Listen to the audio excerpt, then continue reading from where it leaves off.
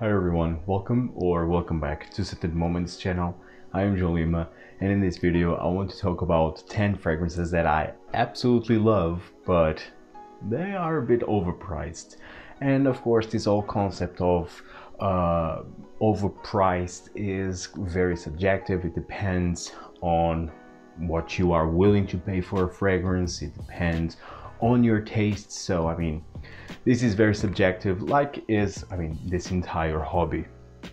But uh, again, I love these fragrances, but for what they represent, um, I mean, some are more gourmand, some are a barber shop, and whilst I love them uh, and I can see their quality, but I mean, for what they are, for what the brand offers in this specific fragrance, I mean, it's a bit overpriced. Nonetheless, it's great.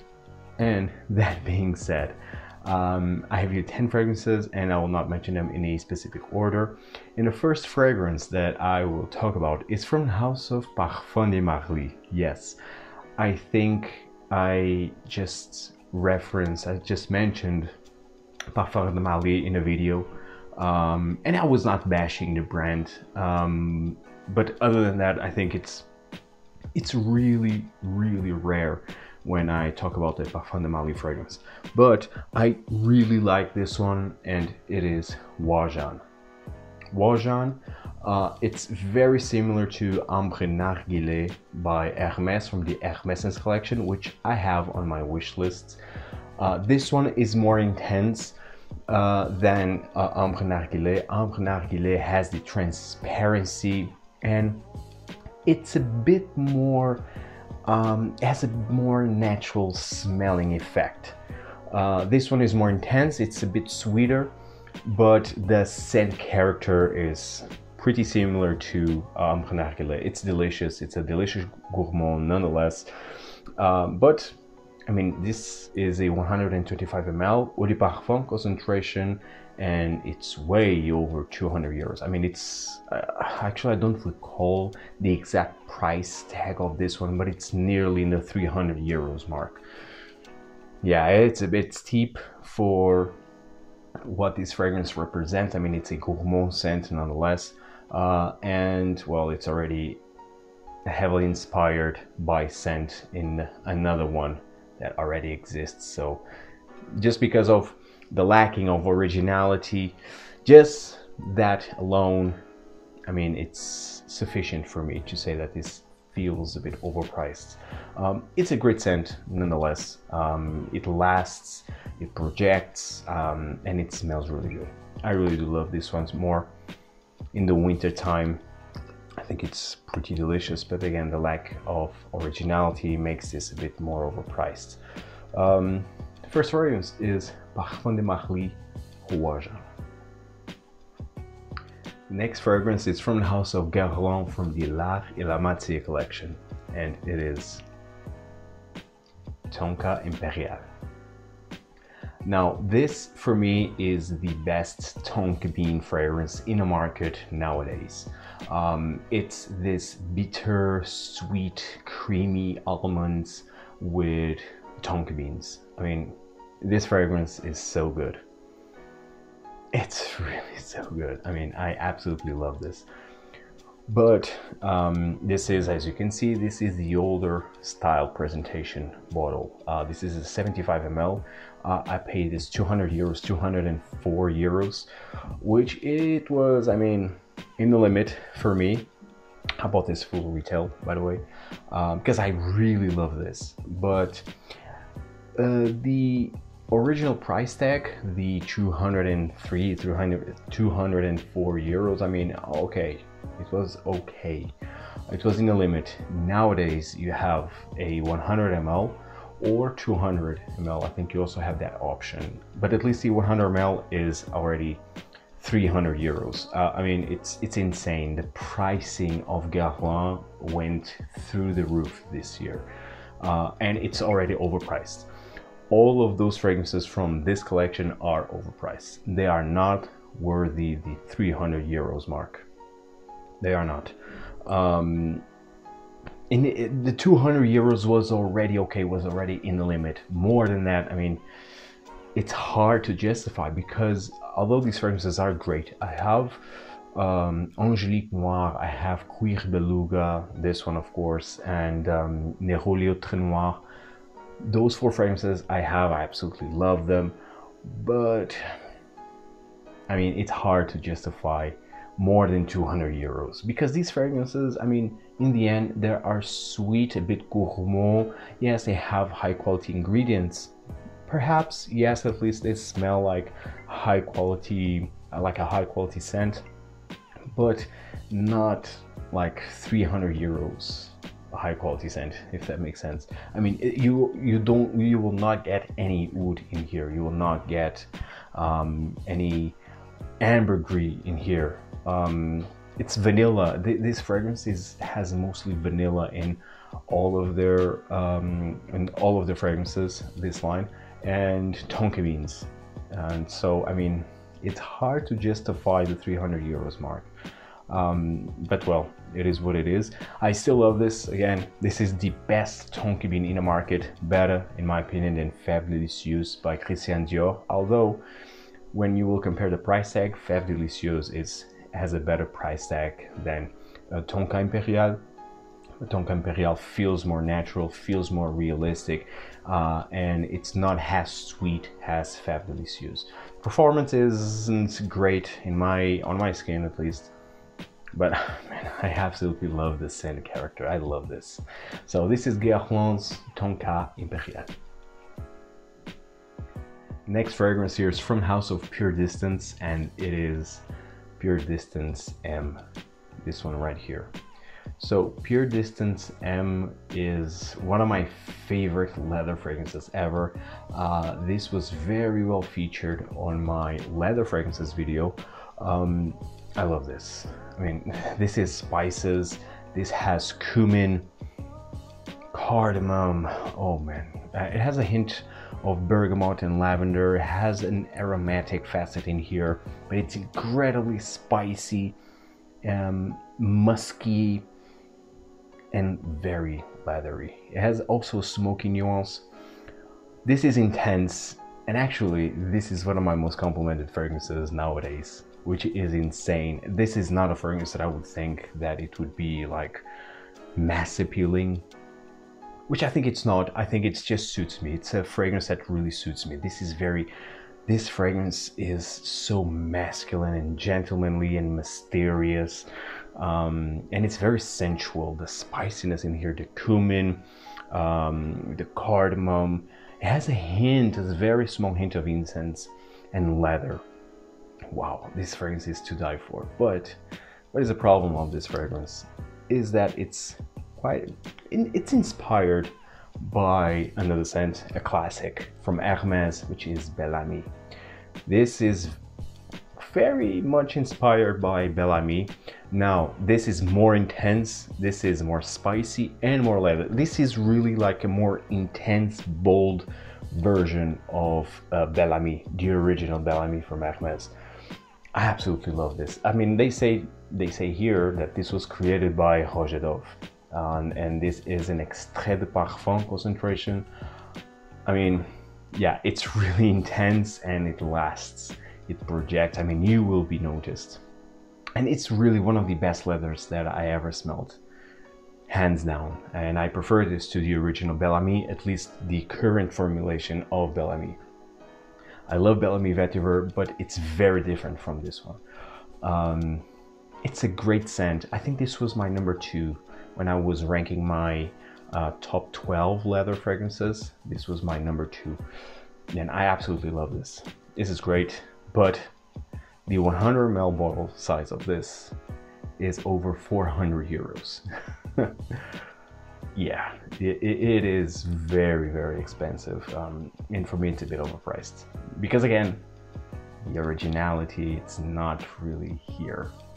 Um, but the quality of the ingredients, yes, it's definitely here. I love this. Nonetheless, is uh, Pure Distance M a fantastic leather scent. And if you don't want to spend the big bucks for this one, just go with the original Bel Ami. Next fragrance is from house of Tiziana Terenzi. This is another house that I rarely mention and actually I love their fragrances. I mean, not all of them. A lot of them are very inspired in other scents, more intensified versions of the like the original sense that they are inspired uh, in, but but I still like it. I still like the brand. Not my favorite brand, no, but I still like their fragrances. I have four fragrances from their house, and this is one of them. I really do love this. It is Ursa. I mean, beautiful, beautiful bottle presentation right here. Beautiful, simply beautiful. Um, but again, this is not original. This is not an original uh, creation. This is, oh man, it's a bit dusty and I'm sorry for that. um, this is very much inspired by, by Kilian Straight to Heaven. Now, this is better than Straight to Heaven in my opinion. This is beefier, this is intense, this, I mean, wow. This is boozy, it has lots, lots of patchouli, like earthy, damp patchouli with booze, uh, with oud, with labdanum. I mean, this is resinous, dark, earthy, boozy scent. I mean, and it's to to the max. It's a great, great scent. Um, but again, it's not original um, you can smell this in by Kilian Straight to Heaven, which came first, and then you also have the Straight to Heaven Extreme, which I never smelled, but this one it's better. This is better than the by Kilian Straight to Heaven because of the beefiness, if that's a word.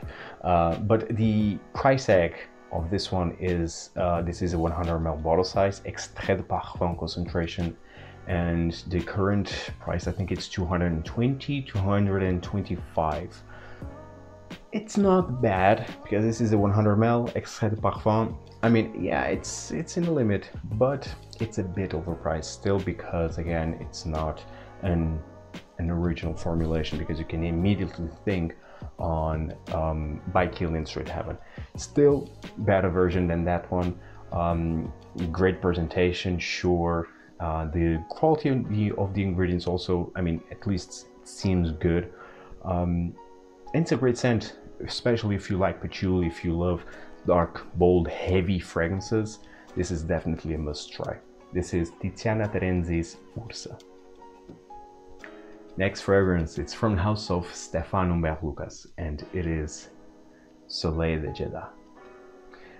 Now, this is one of my most worn fragrances ever in my collection.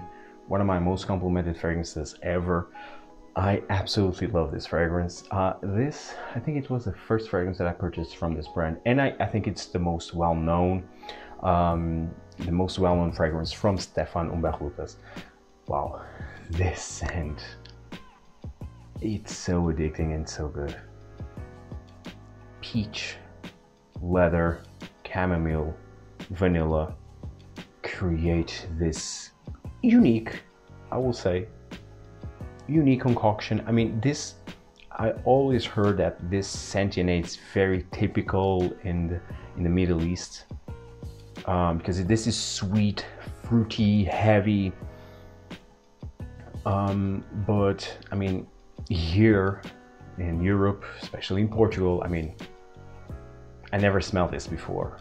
So this for me, it's quite unique.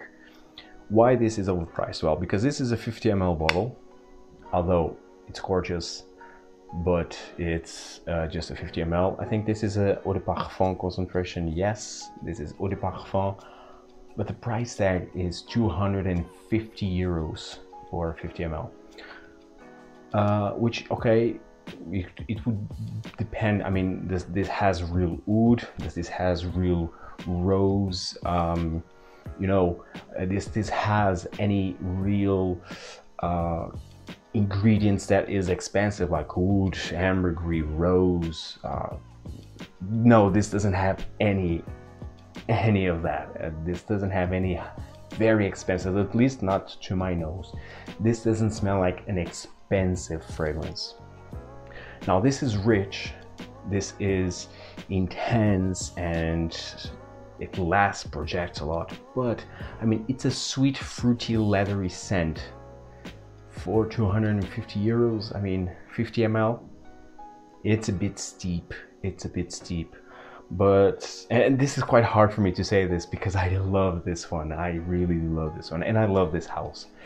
I really do love this house, but I prefer it to, for example, Tiziana Terenzi or to Pure Distance because this house is still unique uh, it's quite unique uh, and the quality of the ingredients are incredible and I really do love it. It has all of the his fragrances have this Middle East mysterious feel that I absolutely love. All of the, the his fragrances are intense um, but are rounded. You know, uh, they uh, the edges are not sharp. Um, so I, I really do like this house but this one specifically it's a bit steep for what it is nonetheless. And it's very mainstream you know because of the sweetness the sweet fruitiness with the vanilla with the leather. It has a hint of floral nuances but I love this. But I love this. Uh, I mean it's a bit steep but I would still buy it of course after all I have this in my collection um, and I love the bottle presentation so this is Soleil de Jeddah by Stéphane Humbert Lucas. Again, this is one of my most complimented fragrances ever and one of my most worn fragrances ever in my collection. Next fragrance, it's from the House of Creed. I think I never mentioned, I, I mean, it was just one video or two that I mentioned a Creed scent, but uh, but again, I just have two fragrances from Creed. It's not a brand that really inspires me. It's not a fragrance brand that's really, I mean, it's not on my taste you know it's it, they are all very fresh light fragrances especially with their constant reformulation on their on their fragrances i mean it's just a fragrance brand that no it, i'm not keen on but i have this one and virgin island water and these are already i mean vintage formulations uh, so this is millésime impérial and I really do like this. Uh, this is the 120 ml. Yeah, this is the 120 ml still. I bought this like in 2017. No, maybe 2018. Maybe 2018. Uh, I bought this alongside Virgin Island Water back then. It was summer and I wanted summer fragrances. And yeah, I wanted to have some creeds. Um, and yeah, I have these. Um, I mean, no, I didn't bought by, I didn't pay full retail. No, I bought this at Notino back then. Um, and I really do like this. And, and just like I love Virgin Island water. And it, for me, it's really vintage because it's the 100, 120 ml with the blue cap. Um, now, whilst I do like this and I love to wear this during the summer, this is salty, aquatic, um, sparkly.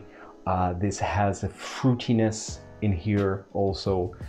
I really do love this, but oof, nowadays I will not pay.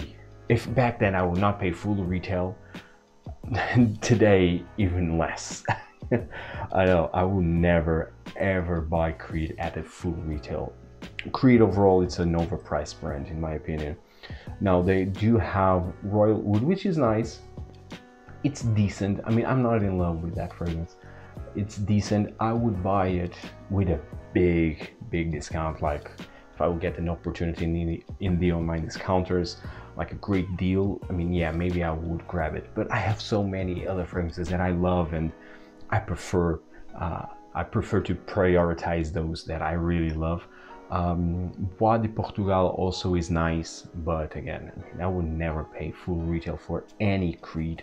Um, as much as I love them or might love them, but no, I will never do that because I mean, they are just light, fresh, and they are always changing. And again, they don't inspire me. I mean, it's not a fragrance brand I would be like, wow, I'm mind blown by this creation. This is a fairly unique creation, I would say, uh, but again, it's not a fragrance that blows my mind to the point to pay full retail for this. Nonetheless, it's great. It's a great scent, great for summer. Mm. It has this muskiness underneath that creates a quite sensual feel. Great scent, at least this one, because again, then Creed has this thing like uh, they have different batch variations and it's just insane um, to keep up with the constant reformulations. Uh, so at least this batch specifically is great. It's amazing. Um, but I will never recommend you to grab a full bottle at a retail price. Still great, still love it. That's why I have in my collection. I will definitely wear this during the summertime, but a bit overpriced. Creed Millésime Impérial. Next fragrance from the house of Roja Dove, and it is Elysium. Now this is from the Parfum Cologne line. Um, this is not even my favorite actually. This is my second favorite, I would say, nowadays. Uh, this really, oh, I have to be honest, this kind of blew my mind last year when I started to wear this. This was sent to me for free. I received the whole collection of the Parfum Cologne line, and this one kind of blew my mind when I start to wear this more during the summer. This really has a natural feel in here. This the citruses in here are perfect. I mean, are so fizzy, effervescent, realistic. Uh, the the bergamot with the grapefruit. I mean, amazing, amazing. Um, and it's not doesn't smell cheap. Uh, although the scent DNA, it's very well known. I mean, this basically for me, it's like a blend of Aventus with Bleu de Chanel um, but it's it's well done. I mean, it's really well done. Still not my favorite from this line. My favorite is still Vetiver, which it's still overpriced. This whole range is overpriced. Um, I think. I, mean, I understand the price tag because Roja Dove wants to create, and he already has this image of a ultra luxury uh, image of him, of their uh, his brand, of their um, he sells the exclusivity of his fragrances and so I get that price tag of these fragrances also. But they are still overpriced. Um, these are fresh. These are not unique. I mean not this one definitely not this one. Um, Vetiver is also not unique. Scandal. Because they all have this hmm I already smell this impression, you know. Uh, immediately, if you will smell Scandal, you will think of maybe Santos de Cartier. Uh, I for a minute, for a minute, I, for me, it's really every time I smell Scandal. Whilst I do like Scandal, but I immediately think of Santos de Cartier. This one, I think of Bleu de Chanel and Aventus. Vetiver, I think of Tom Ford's Grey Vetiver, uh, Dio de Parfum. Um, the only fragrance that I don't actually think of, another one is Enigma. But Enigma, I mean, it's okay. It, it doesn't last and it smells like Coca-Cola. I never smelled the the Parfum uh, version, but the Parfum Cologne, I mean, it's okay. You know, it's okay. Uh, I give I give points for the originality. uh, and then there's another one that I'm missing. Oh, Danger. Guerlain Heritage. I mean, but it's not even, uh, let's not even discuss that, you know, it's it's not open to discussion, it's Guerlain's Heritage. So yeah, I mean, so you can see a lot of inspirations of the this Parfum Cologne uh, line of these all of these fragrances from the Parfum Cologne line.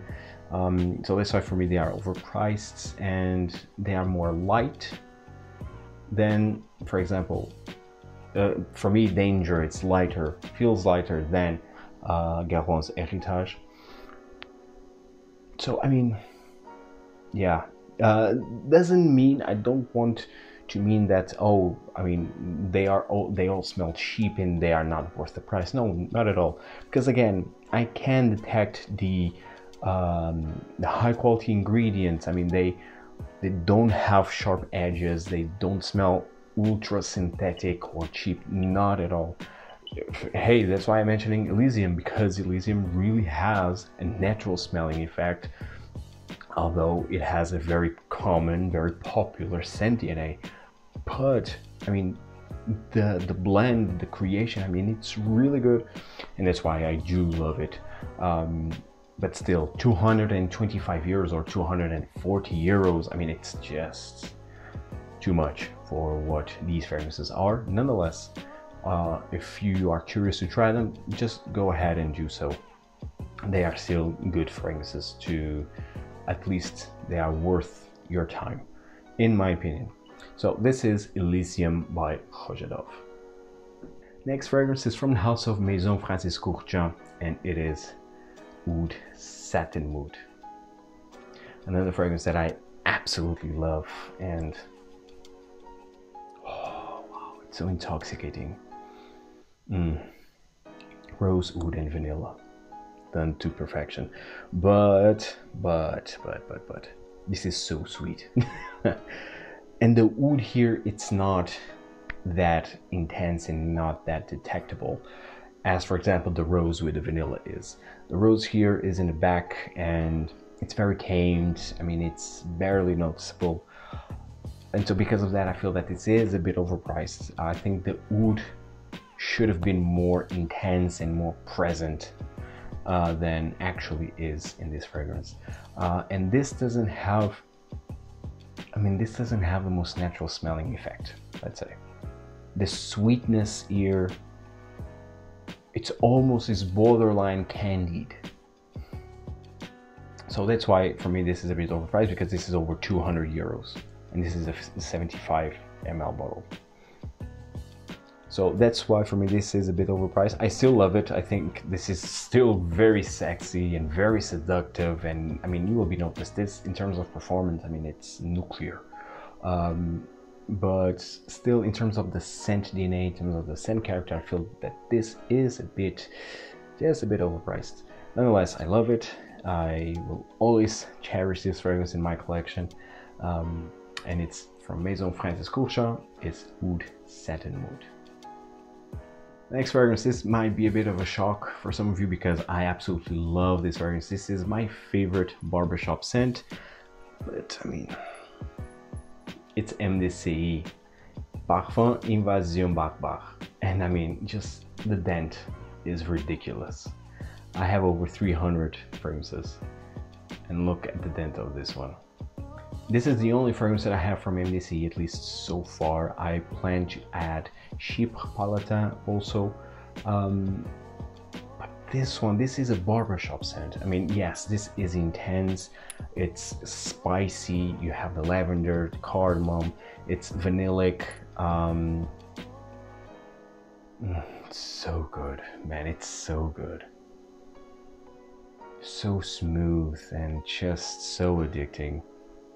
For a barbershop scent i mean this is fantastic but I mean this is 225 euros for a 75 ml uh, for a barbershop scent okay this has more things going on like the spices like the vanilla uh, muskiness but still but still I mean it's still a barbershop scent in its essence so over 200 euros for just a 75 ml uh, it's a bit steep it's a bit steep uh, high quality scent in my opinion i mean again this is my favorite barbershop fragrance but is a bit steep even Chypre Palatin i feel like it's a bit steep the overall overall this brand is a bit is a bit the price is is a bit steep but nonetheless i really do like uh, Invasion Barbare. I also like uh, Chypre Palatin.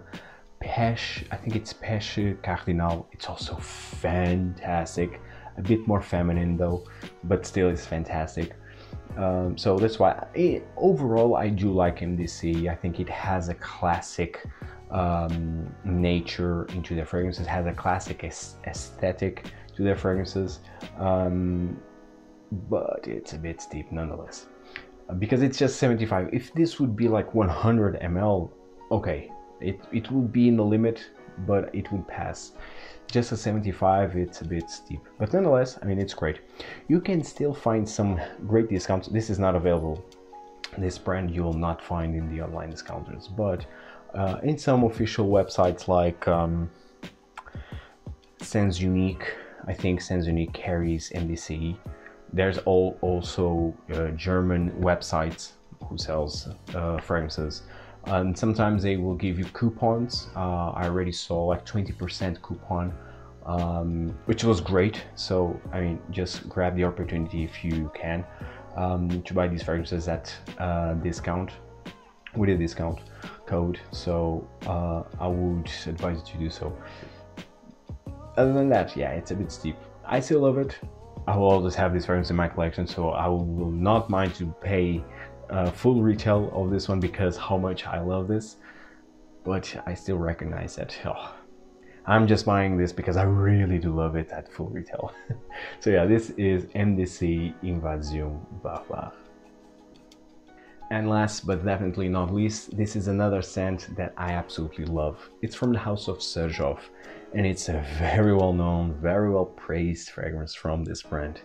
It is Alexandria 2 now, I love this. This is so, so,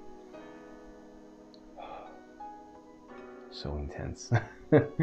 it's so good. Wow. I just want to smell this over and over. This has rose, cardamom, lavender, oud, and creates this most sexy, woody scent, which and why this is overpriced for me because the wood doesn't come across as natural. This entire fragrance DNA, it's not natural. Uh, doesn't come across as real oud, you know. It has something in here because I mean, immediately you get the cardamom with the lavender and oud, but uh, there's something in here that it's not natural, you know, and it's present in the entire scent DNA. Maybe the, the ingredients in here are not as high quality, um, but I still love the, the scent DNA nonetheless. So the, the main reason is really the natural feel that this scent doesn't have. Um, that's why for me this is a bit overpriced. This is a 50 ml. I really do like such of bottle presentations. This is from the Oud Stars collection, Alexandria 2, and it's 295 euros for a 50 ml. If you want the 100 ml, I mean it will be over almost 400 euros. Huh, it's a bit it's a bit steep because you can get for example, for this price tag, I would get I would advise you to get um, Soul of Wood by Ramon Monegal or any of the Don't Touch My Wood collection because those, those smell natural. Real wood in there. And it's 50 ml also eau de parfum concentration. Uh, the price is a bit more expensive. It's in the 300 euros mark. Uh, but still, I mean, if you are willing to pay 200, almost 300 euros for this one, I mean, then just go with the Ramon Monegal Don't Touch My wood collection you will be better served. Real wood in there, and it that fragrance line it's just to die for if you love wood And I highly advise you to check that fragrance brand out. If you want a surge of fragrance um, in the in the oud collection, go with Alcat. Uh, it comes across more natural and you can smell more wood than in here. Nonetheless, this is a stunning scent. I, that being said, all of that being said, I still love this. Um, this is intense. This lasts the entire day.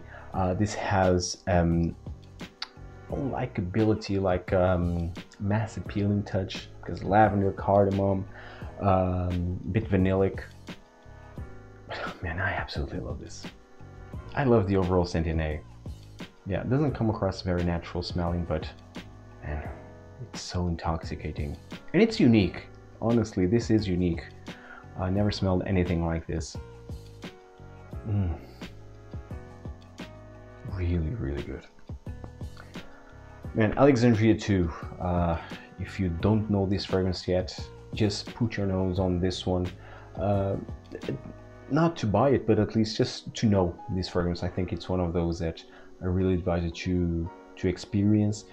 It's that type of scent for people who are just starting to discover oud uh, as a note.